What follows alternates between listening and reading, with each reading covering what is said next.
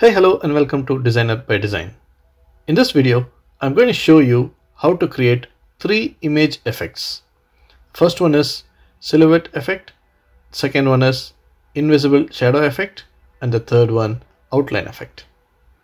What's cool about these effects is that you can clearly tell what the image is but it's only a representation of the original image.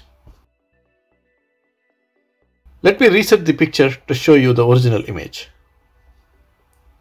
The first step to create these three image effects is to just keep the object in context and remove the rest. To do that, select the image. From the format menu, select remove background. Keep the object and mark the rest of the area to be removed.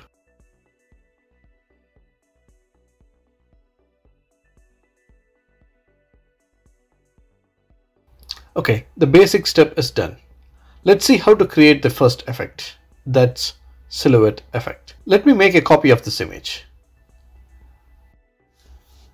Now, select the image, right click and select format shape. From the format picture panel, select picture corrections. Here, set the brightness to 0. This does the trick.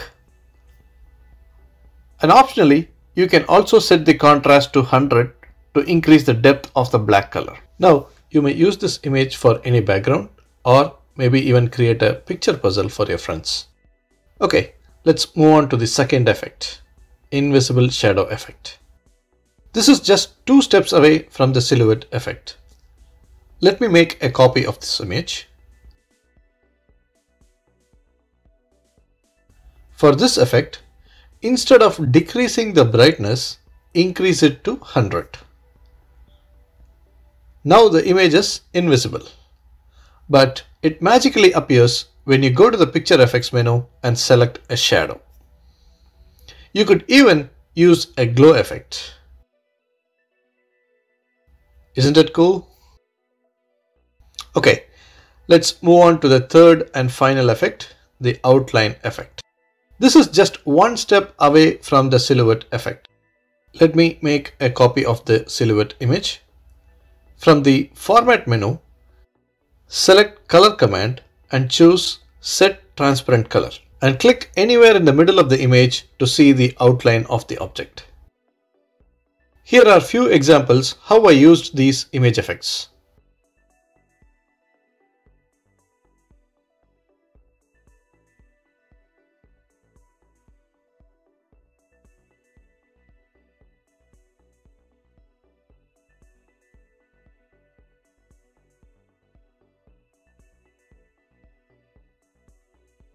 I hope you found these image effect techniques useful.